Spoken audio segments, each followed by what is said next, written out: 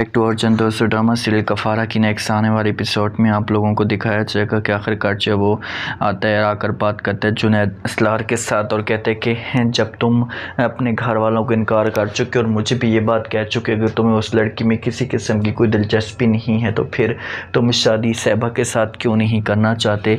इसकी कोई रीज़न मुझे बता सकते हो? जब ये बातें जहाँ असलार सुनता है तो वो कहता है कि, बस मैं शादी नहीं करना चाहता, मेरा मूड नहीं है शादी का।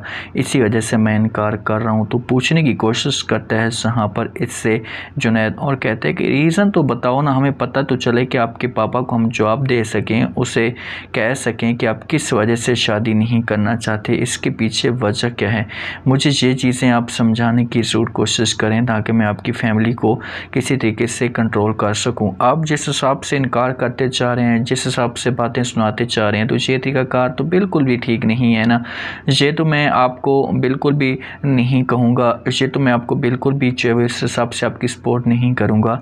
आगे आपकी अपनी मर्ज़ी है। तो जहाँ पर सलार कहते हैं अच्छा ठीक है, मैं कुछ करता हूँ। दूसरी तरफ़ आप लोग ये भी देखेंगे कि जाती है मुलाकात करने के लिए, जहाँ पर जो है वो जो सलार की बहन है, सबा, वो जाकर समझाने की कोशिश करती है। इस तरह को उससे कहती है कि, अगर तुम मेरे भाई के साथ सीरियस हो तो उससे खुलकर बता दो, उसे इतनी बड़ी तकलीफ़ मत दो। वो बेचारा पहले भी बहुत ज़्यादा परेशान है।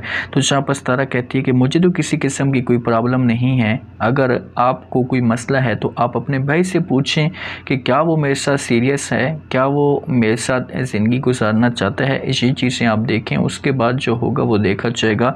उसके बाद मैं अपना रिस्पॉन्स दूँगी। तो सबा कहती है कि मतलब आपका मूड है।